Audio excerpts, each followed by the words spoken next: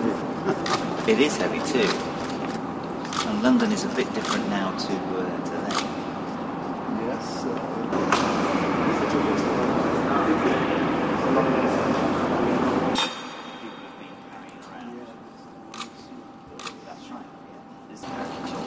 so each perforation represents a story.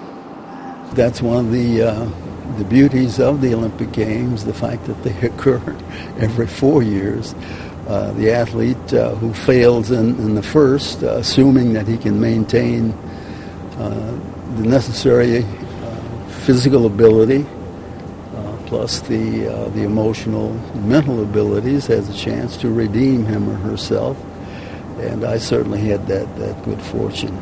So I've actually had a go on my things, playing playing wheelchair tennis and. Well, he's much bigger, stronger and uh, much faster, of course, on the clock. But that's not true only of Usain, but all of the athletes who are competing uh, today.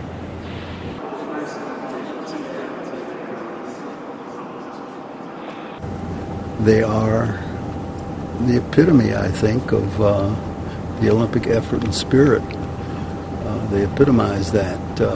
Uh, they work hard, they devote themselves to it.